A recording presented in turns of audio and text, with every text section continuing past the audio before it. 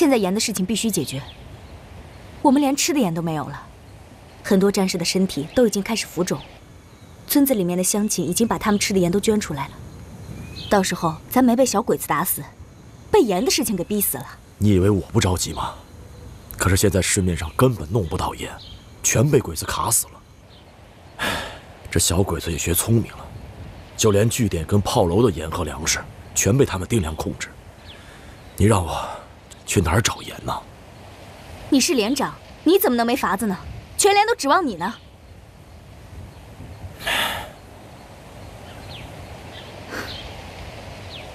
看来现在只有一个办法了，我得回趟老家了。你要回武强？对。不行，这样太冒险了。你要有个三长两短。你让我们全连的战士怎么办？我不同意。你刚才也说了，如果再搞不到盐，全连的兄弟们都会有生命危险。到时候一个兵都没有，还要我这个连长干嘛呀？我不同意，我坚决不同意。我觉得你这样太冒险了。指导员，你快来看看鸽子吧。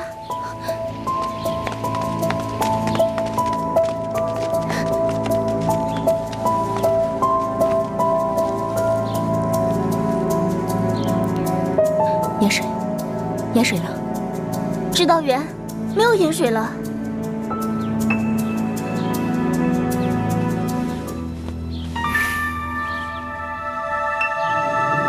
鸽子，你这个死丫头，你休想丢下我一个人就这么走了。给我挺住了，知道吗？你给我挺住了，听见我说话了吗？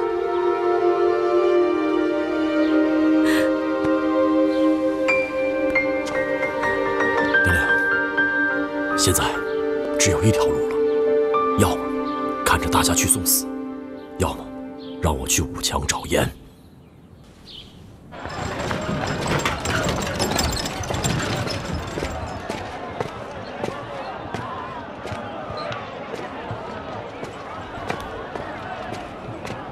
是孙野中佐，卢萨，你怎么迟到了？啊，队伍上有点事情需要我处理。我想这比喝酒更重要吧。看来，卢桑真是全心全意的为皇军效力啊！您过奖了。啊，中村先生找我喝酒有什么事情吗？我想，您还是亲自进去问问他吧。等等，请把你的枪交给我。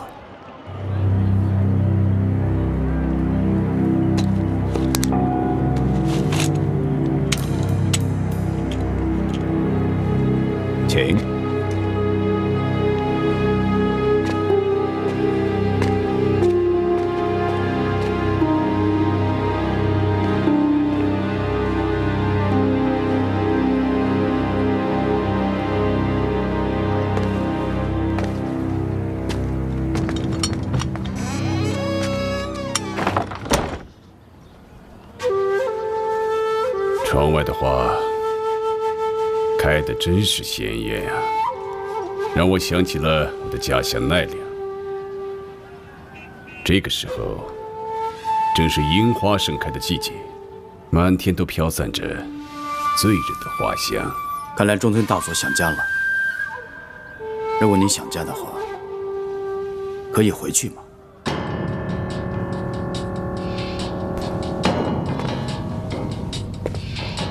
我知道这里有很多人都希望我离开，但现在还不是时候。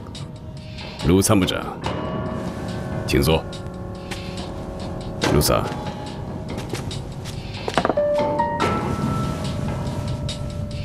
你母亲的身体恢复的怎么样？多谢中村大佐关心，老娘最近非常的好。很好，卢萨，你我虽同为军人。但是，我们也是母亲的儿子，也是家里的男人，所以无论做什么事情，都应该为家里多考虑一下。你觉得对吗？是。来，为你母亲的健康，干杯！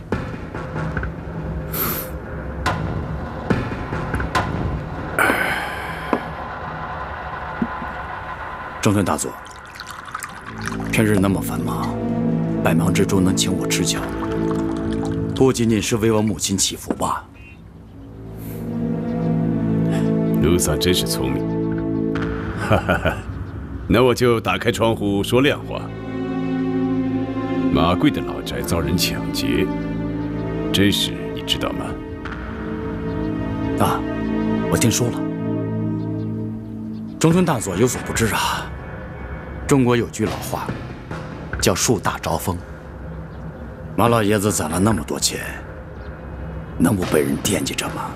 可据马贵说，在那天晚上出事之前，你是去过他的家的。去过呀，是您派我去的，给马老爷子宣读委任状，并且带了响印。您忘了吗？我说的是第二次。阿贵说，你去找他要过两个女人。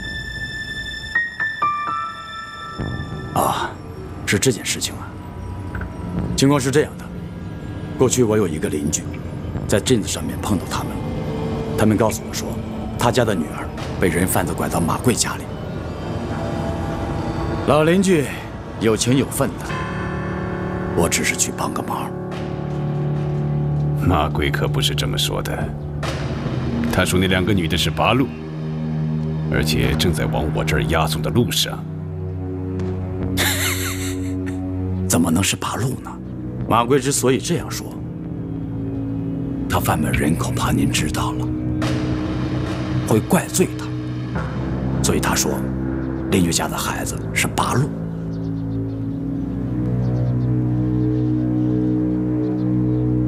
这样，卢萨，你的亲妹妹找到了吗？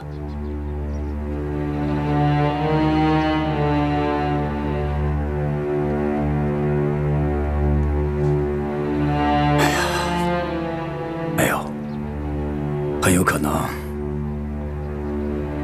死了。死了。可真是太遗憾了。来，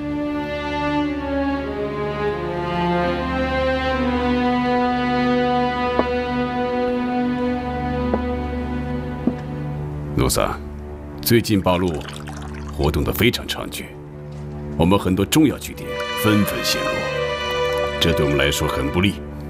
哦，所以我决定要派一些军官。去坐镇重要的据点，所以我想请你去坐镇清风殿炮楼，你觉得怎么样？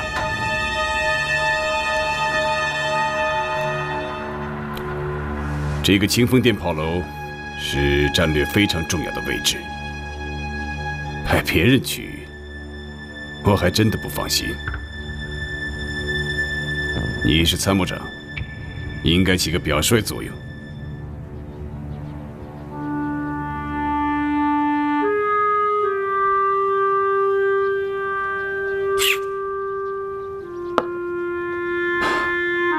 在哪干，都是为皇军卖命。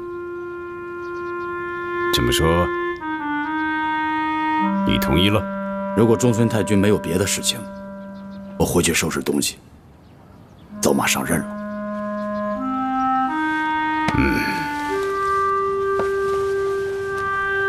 卢萨，你安心去吧。我会像照顾自己的母亲一样照顾你的母亲。请。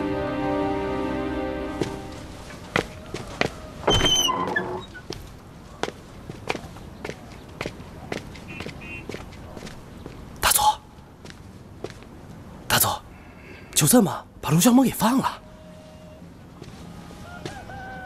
不然呢？不是，大佐，这不是明摆着的吗？一定是他干的。你说的一切都空口无凭，你有证据吗？大佐，还要啥证据啊？那天晚上卢小猛带了五十多个人，拿了枪，拿了子弹，这就是证据啊！这事我查过了，我特意打电话给焦庄炮楼，他们证实，卢小猛确实是带着人去围剿八路军的武工队。你还有什么可说的？哎，大佐，我明白了，一定是他们串通好的，他们串通好的呀，这是。马贵。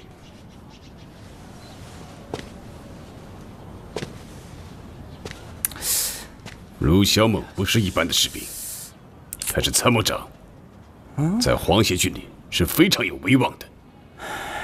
如果我们没有证据就处罚他，会带来不必要的麻烦。这个阶段，我的大后方不能乱。马萨，啊，你应该好好的谢谢我。我把陆小猛调走，唐金荣就少去了一个左膀右臂。对你来说，应该是件大好事。好。啊，对，好事儿，好事儿。可是那个这件事，就告一段落了。如果你有确凿的证据，我一定秉公处理。大佐慢走，大佐慢走，慢走。马桑，在这个节骨眼上，我不希望发生任何节外生枝的事情。我提醒你，私下里不要轻举妄动。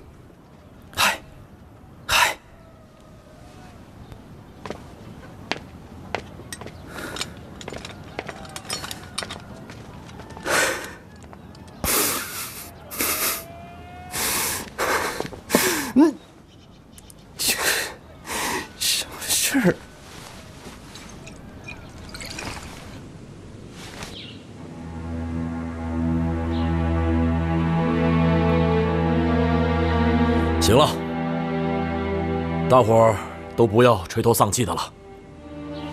我们队伍情况都知道，就是缺药少盐。我跟指导员商量过了，现在唯一的解决方法，就是我去武强找盐。嗯，是个好办法。现在鬼子在外面扫荡呢，咱们现在进城，兴许比在外面更安全。可关键你进城咋弄盐啊？咱们总不能大摇大摆的去鬼子的商铺里买吧？二王，你忘了，咱在武强还有个熟人呢，咱跟他做个生意。谁呀？唐金荣啊！哎，对，他的账本咱全看过，上面有言，记得清清楚楚的。又去找他呀？我只知道，如果我们不去的话，那些伤员都会有生命危险。王代航，你熟悉地形。你和指导员在家里边看家，如果一旦鬼子打过来，你就带着部队和老乡们从小路转移。啥意思呀？让我留下？凭啥呀？我也要跟你们去。哎，你现在是八路军战士，得服从命令，连长让你干啥就干啥。我就不，我就要去。看行。我知道。你的心情我可以理解，上战场打鬼子，为家人报仇，那是咱迟早的事儿。但是现在，我们任务重大，我们那么多伤员，鬼子马上袭击过来，他们可全得靠你了。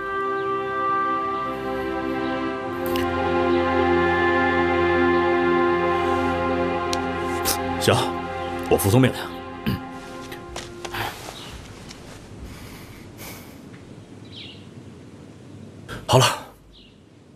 大伙都准备一下，把衣服换了。明天一早，我们分批进城。如果三天我们还没有回来，你们就带着大部队去城外接应我们。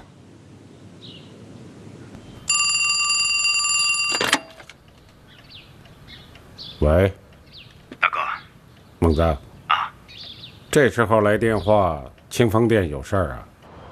没事儿，挺好的，大哥，兄弟想麻烦你帮个忙。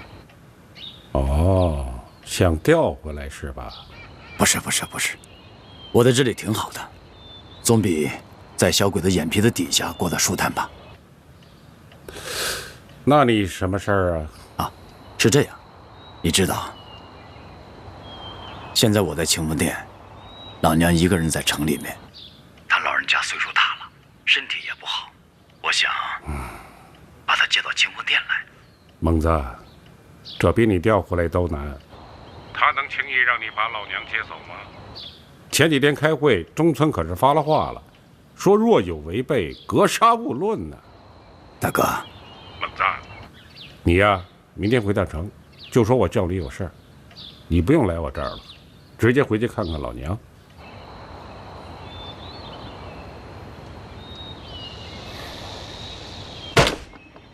你要找唐金荣，嘿，这个人为人奸猾，做事滑不溜丢。你跟他要去做买卖，你非得吃亏不可。我顾不得那么多了，情况紧急，容不得我耽误。就这么定了，找唐金荣，再跟他做一笔交易。童叔，还得麻烦您让手下的人帮我查一查他的行踪，好吧？来瞧一瞧，看一看啊，便宜了。哎，爷，您慢走啊！靠边！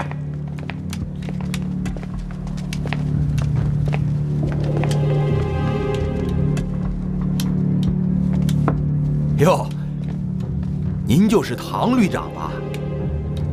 你是？哎，我就是从西边来的，约好了跟您谈生意的。你就是老板？我我我我我我不是我不是，我们老板在楼上呢。你要是方便，咱们借一步说话。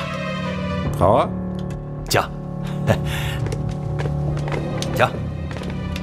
哎哎哎，二位兄弟，这两位老板在楼上谈话，人多了不方便。唐旅长，您看这，你们在这儿等我。啊，哎，不好意思，多有得罪啊。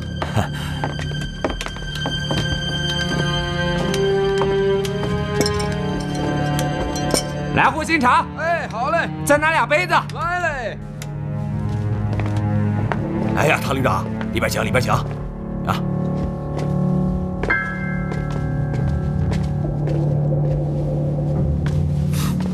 我说，你们老板呢？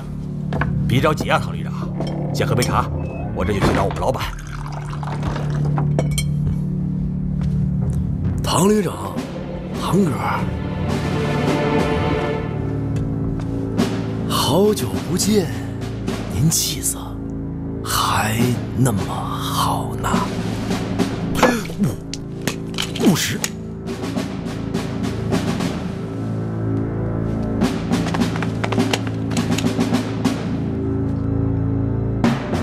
光喝茶哪行？老板，再加俩菜。哎，把枪放下，我们都是老朋友了。来来来，喝点水啊！哎，您先消消火。哎，哎呦，我说十三兄，你胆子可真大呀！这都啥时候了，你还敢进城？有什么不敢的？有您唐旅长在呀，我怕啥呀？上次跟唐哥做买卖，做的我心里那叫一个舒坦呢。这回找您堂哥，我还有一单大买卖要跟堂哥继续做呢。什么？想跟我做大买卖？哎呦，你不坑老子就不错了。这底下可是我的人，识相的赶紧走。这枪一响，日本人马上就来。啊！你看，你看，你堂哥，我不都跟您说了吗？咱们两个是老朋友了，你老跟我凶巴巴的干什么呀？啊！这一次我来找您做买卖，买卖做不成，我是不会走的。而且，我这个人脸皮可薄啊，您可别激我。但凡您把我惹急了，我这一枪下去，没等您的人进来，您这脑袋可就搬家了。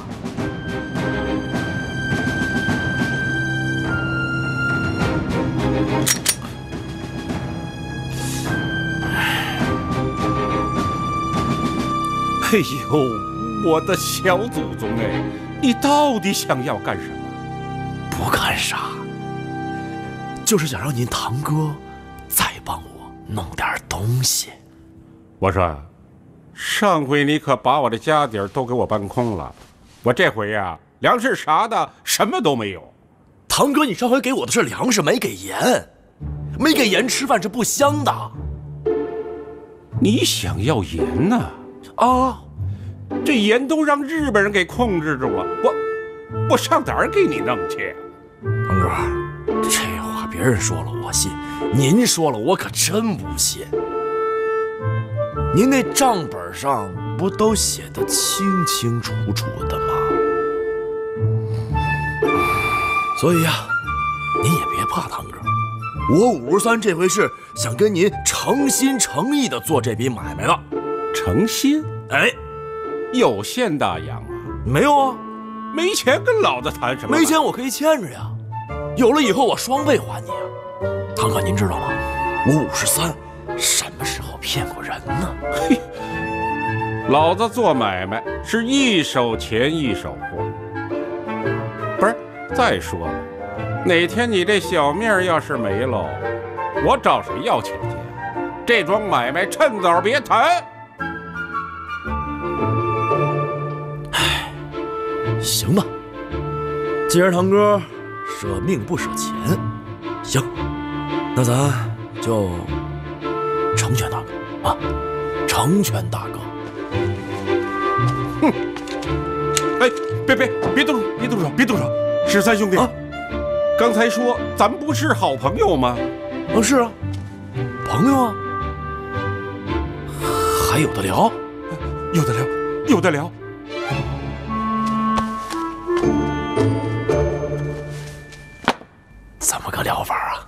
嗯，这啊，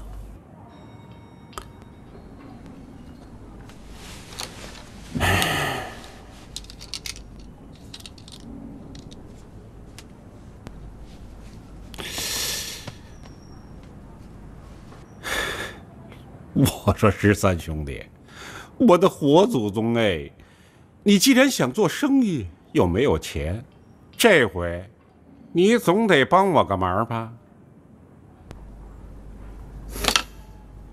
啥忙啊？帮我杀一个人。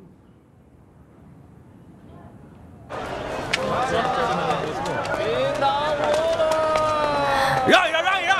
哎，前面让一下，让一下，让一让，让一让，让一让！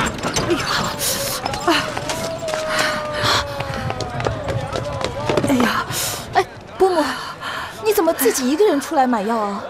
药店都被你们日本人控制住了，我吃药还能给我送到家里去啊？那小猛君怎么没帮你买啊？我儿子被日本人调到清风店炮楼去了，就留我一个孤老婆子了。他他去清风店了？哎呦，那那我扶您回去吧。不用，我自己走吧。我陪您回去吧，还可以给你检查一下。哦，哎呦，比前几天好多了，不过肺部还有些杂音，再吃几天药吧。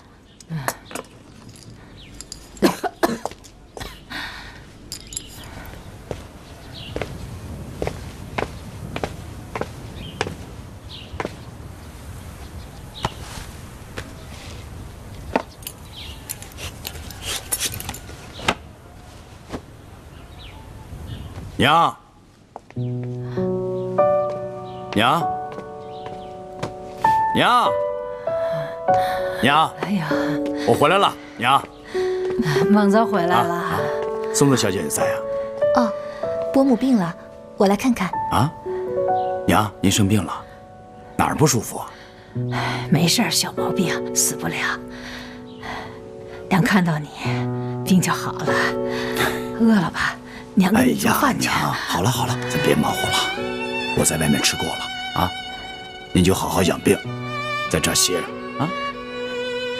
你这几天啊，在外头肯定喝酒比吃饭多。娘给你做好吃的去。哎呀，娘啊，您就别操心了，我不是说了吗？我在外面吃过了。我看您这病啊，多半都是操心操出来的。哎呀，是啊，伯母，你要放宽心，注意休息，这样才能养好病啊。你看，人医生都说了吧，所以咱这病啊，就得好好养着啊，好好歇着。哎，姑娘，以后别来了。啊，我这个老婆子担待不起一个日本人给我看病。那伯母您多休息，医院还有事，我先告辞了。娘，你先歇着，我一会儿回来。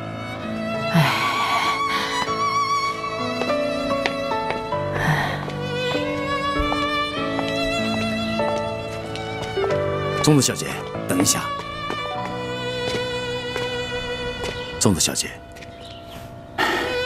刚才母亲说的话，您别介意。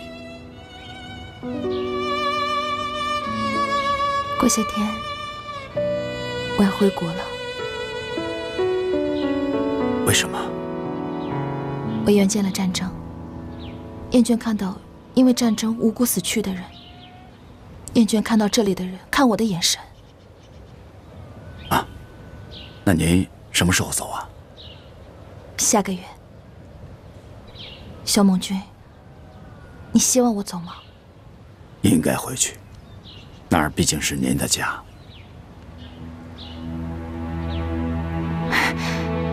呃，其实，其实伯母最近心情一直不是很好，她的病是因为心情引起的，她心情好了，病也就好得快了。是啊，这些我都知道。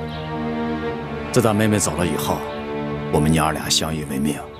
这段时间，军队上的事情太多了，母亲老担心我出事儿。那为什么不把伯母接到清风殿去住呢？我何尝不想啊？那还犹豫什么呀？今天就把她接过去吧。怎么接呀？现在日本人有规定，凡是皇协军驻守要害部门的指挥官，家属一律不得出城，一旦违令。格杀无论。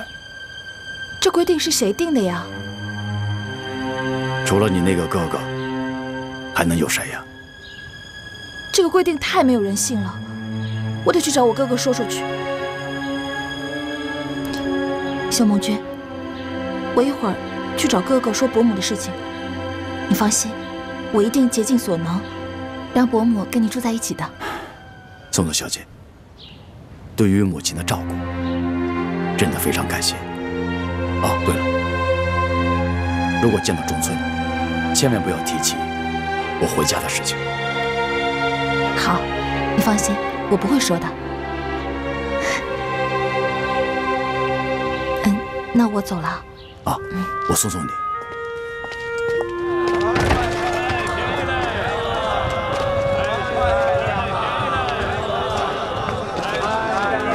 萧梦君。再见。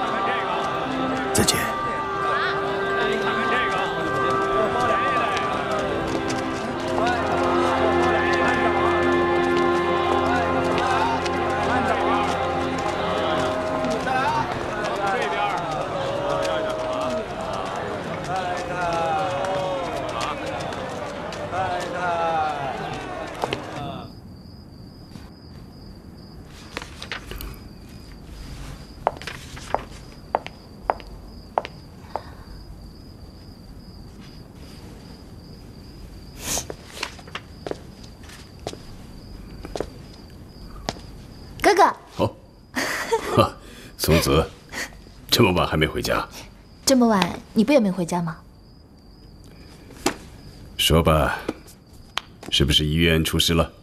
嗯，我是为卢小猛的事情来找你的。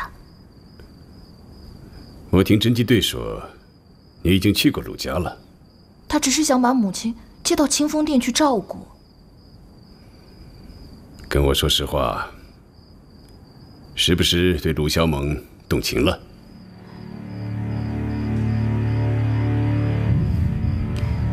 是，我确实有点喜欢陆小猛。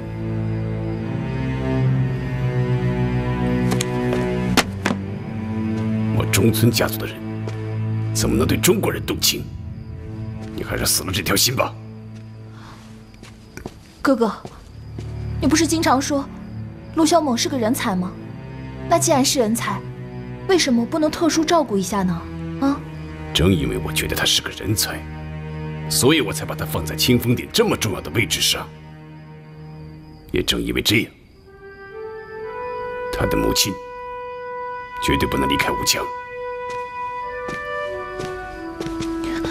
哥哥，你说过，中国文化要以孝为先。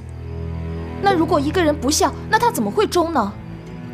陆小猛他是大孝子，他也是忠义之人。如果你老让他担心和牵挂着他的母亲，他怎么有心思守好清风殿呢？时间不早了，这件事咱们以后再说。还有，千万不要对鲁小猛感情用事，否则咱们的家族是不会宽恕你的。我明白。过段时间我就要回国了，我怎么会把儿女私情留在这里呢？回国也好，不过我奉劝你，不要再去参加那个反战同盟会，因为你这么做只会瓦解和削弱我们大日本皇军的斗志。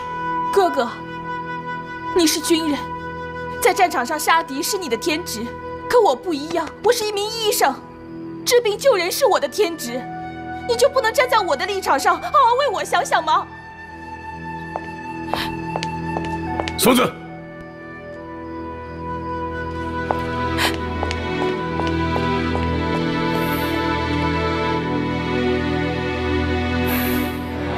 哎，干嘛呢？干嘛呢？哎，都让让，儿子，让让。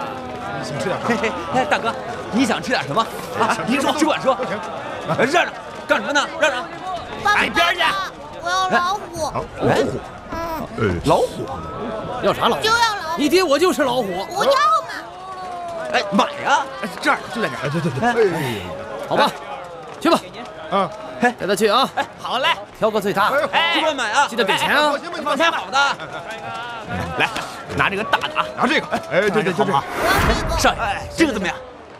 上茶，快点啊！来喽！来来来。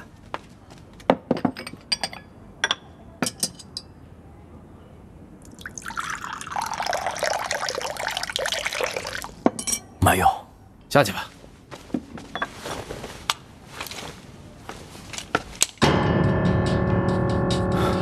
兄弟，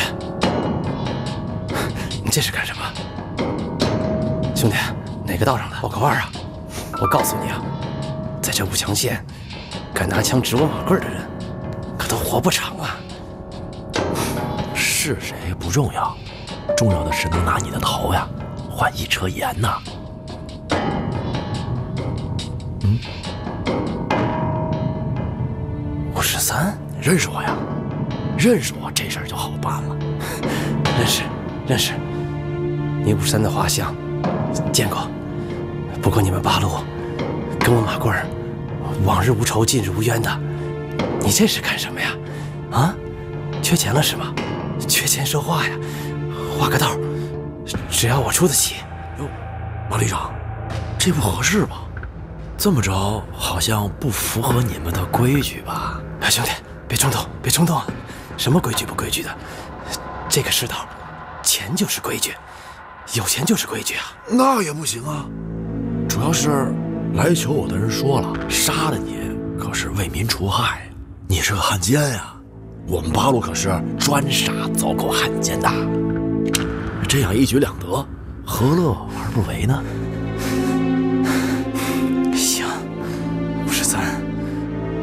今天要杀了我马贵儿，得让我死个明白吧？啊，是是谁要杀我呀？帮我杀一个人？不是，大哥，这武强县城里还有您杀不了的人呢。明说了吧，我跟马贵这小子有仇，他背地里没少害我，我跟他是水火不容，不是他死就是我亡，老子早就想除了他。不是，堂哥，您那么多人，您非得让我帮您除干嘛呀？我要是让我手下人动手，那日本人早晚会查到我的头上，到时候我一样小命没了。让你们八路做，那是神不知鬼不觉呀。你帮了我，我帮了你，你们八路还除了一汉奸，这笔买卖你们应该会算吧？啊？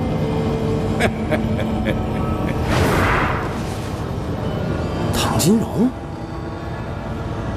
他妈了个巴子的！先杀了我爹，现在是想灭了我呀！马旅长，你说，兄弟，我这回这么帮你，你拿啥回报我呀？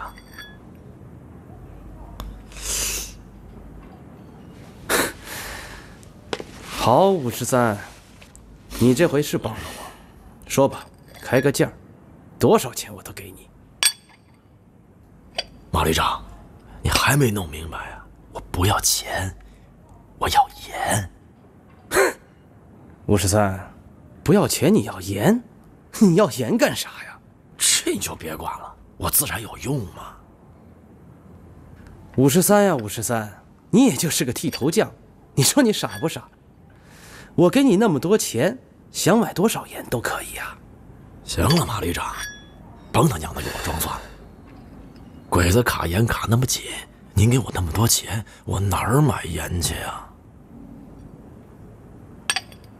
五十三，你怎么吃得准？我马贵能找到盐呢？这五强县谁都知道，您跟唐金荣做的是私货的买卖呀。这唐金荣啊，在武强县可是土皇帝一手遮天儿啊，哪有您马贵的事儿啊？您就不想给他扳倒，自个儿做主吗？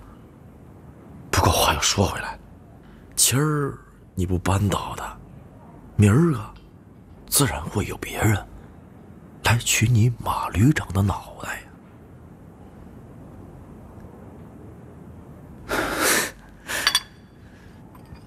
五十三啊，没想到你一个剃头匠，能想得这么周全。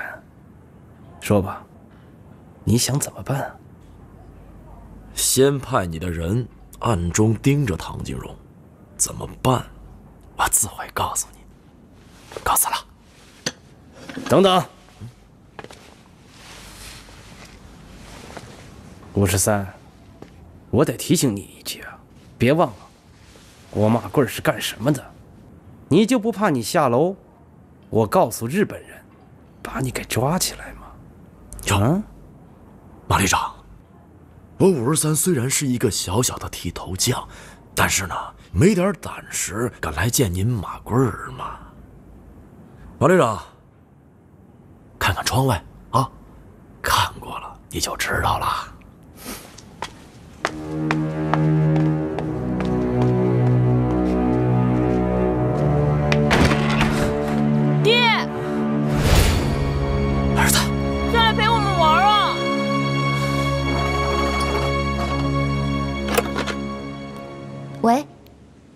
好，请接清风殿。喂，喂，小猛君，我是，您是？我是松子。我告诉你一个好消息，我哥哥已经答应你把伯母接到清风店了。真的？嗯。太好了，我，我现在就去武强。好，再见。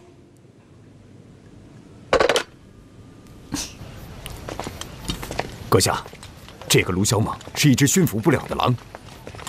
我不明白，你就这么轻易的把他母亲放出了城，我们可是少了一个遏制他的手段呢。狼，你把它关在笼子里，一辈子不知道它是否对人友善。只有把它放出来，你才知道它会不会咬人。明白了。